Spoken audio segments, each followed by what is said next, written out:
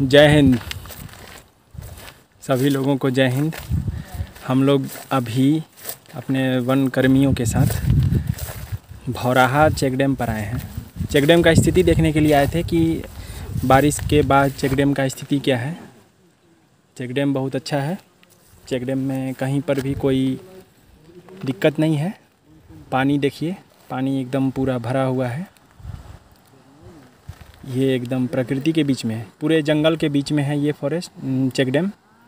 वो सामने पहाड़ देख रहे हैं वो भौराहा का पहाड़ है जिसमें ज़्यादातर बाँस का पौधा है और उसके उस तरफ़ गढ़वा साउथ डिवीज़न स्टार्ट हो जाता है। गढ़वा नॉर्थ डिवीज़न का ये सिवाना है। ये है हम लोग का चेक डैम। ग्राम भौराहा। हाँ। के बर्जनवा नाला के पास एक चेक डैम वन से बनाया गया है। इसमें सारे जीव जंतु को लाभ होगा। इसमें जंगली जानवर पानी पिएँगे इसमें बहुत सा जीव जंतु जानवर के लिए बहुत लाभदायक है। और इस पानी से गाँव का भी विकास होगा मछली पालन होगा। मैं यही कह रहा हूँ। ये देखिए आइए देखिए पानी का नज़ारा देखिए एकदम ब्लैक वाटर। ये देखिए हमारे मुस्लिम जी हैं। ये पशु रक्षक हैं रिवर साइड प्लांटेशन के। मुस्लिम जी जी। कैसा नज़ारा है यहाँ का? बताइए थोड़ा इधर आइए। भौराहा नदी ये नाला है। हाँ। इसको में बहुत मैंने पानी के संभाला है।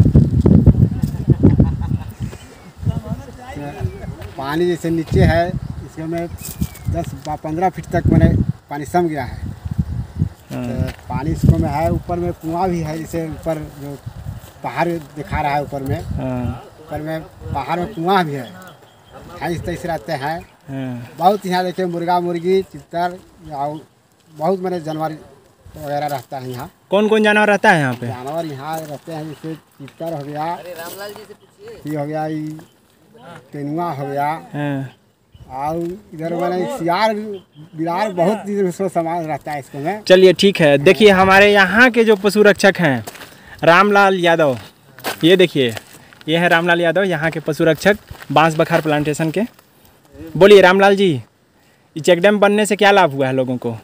लोगों को तो कम हुआ है पर जंगली जानवर के लिए बहुत लाभ हुआ है जिसमें पुरान पानी रहेगा गर्मी में भी हमको लगता है कि कम से कम पाँच फीट पानी रहेगा? रहेगा और जंगली जानवर के लिए बहुत सुविधा होगा। अच्छा ये देखिए यहाँ के जो वनकर्मी हैं ये हैं हमारे राजकुमार भैया।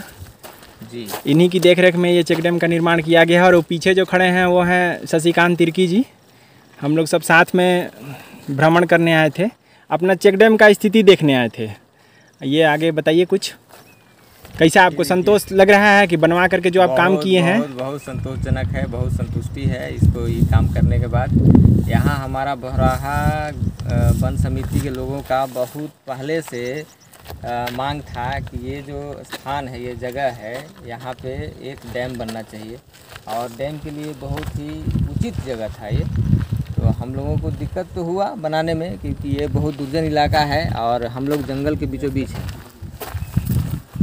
और जंगल का मतलब आबादी से ये बहुत सुदूर स्थल है। यहाँ आने और जाने में भी बहुत परेशानी है।